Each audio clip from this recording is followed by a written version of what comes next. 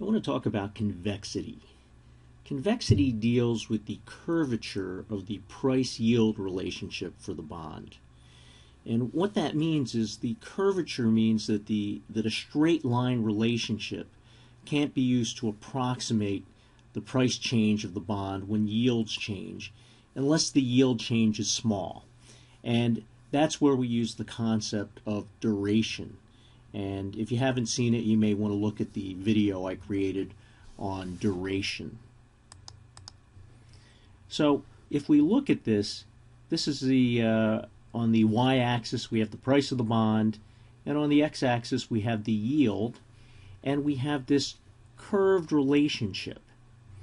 And you'll notice here that I have a yield y, and then I have two different yields, y1, which is a yield where the interest rate has gone down, and y2 where the interest rate has gone up, and y minus y1. So the distance here equals y minus y2. So we have an equal basis point change.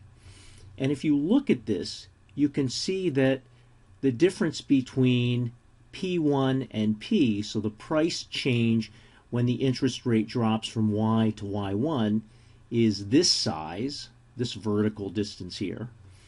And the distance or the amount that the price changes, P2 minus P, when the interest rate goes up from y to y2 is this distance here.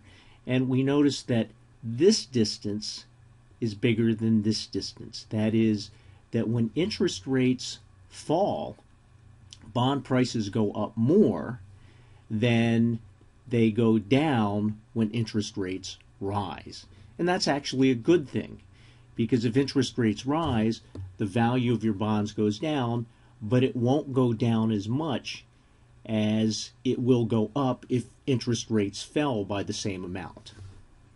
So if you're a bond portfolio manager, ideally you'd like to um, produce a portfolio that has a lot of convexity.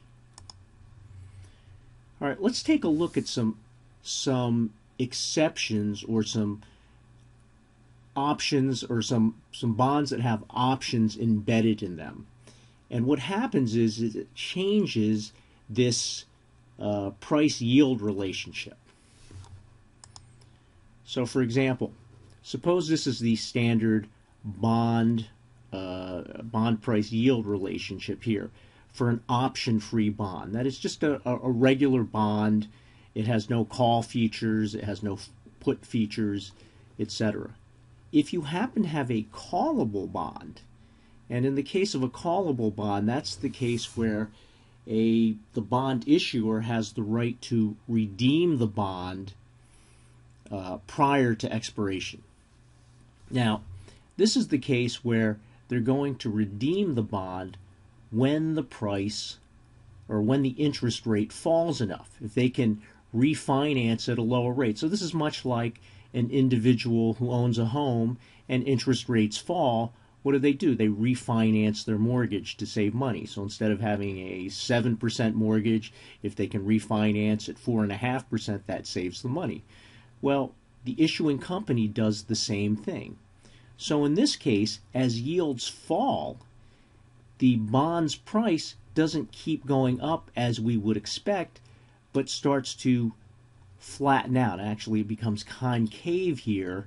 And the reason it it curves this way is because the chances are the bond is going to be called. That is, if it's a callable bond, the issuer is going to redeem it and refinance with lower interest rate bonds.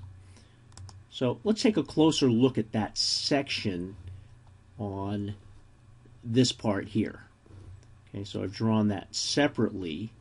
And this is the case where we have what we call negative convexity.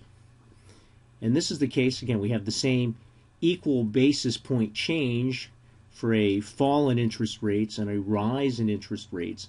And you'll notice that in this case, that the rise in interest rates is much smaller than the fall, I'm sorry, the rise in the bond price is much smaller than the fall in the bond price if interest rates rise. So if interest rates fall, the bond's price doesn't rise very much. That's this distance here versus the amount that the interest uh, the bonds price falls if interest rates rise. That's this distance here. So P1 minus P, P1 minus P, so this distance here is less than P2 minus P, this distance here. And why is that? Well, because of this possibility that the bond will get called, so the price doesn't rise as much as it would if it were an option free bond. So when you look at a bond, a callable bond, it has a re region of positive convexity. Okay, that's the normal part of the bond. And then when you get to that certain yield where we start thinking that the bond may be called, then you get this negative convexity region where the bond's price uh, doesn't rise very much when interest rates fall. Let's take a look at a, a second kind of bond with an embedded option, and that's a puttable bond. A puttable bond is one that can re- be redeemed by the bondholder on the dates and at the put price specified in the indenture.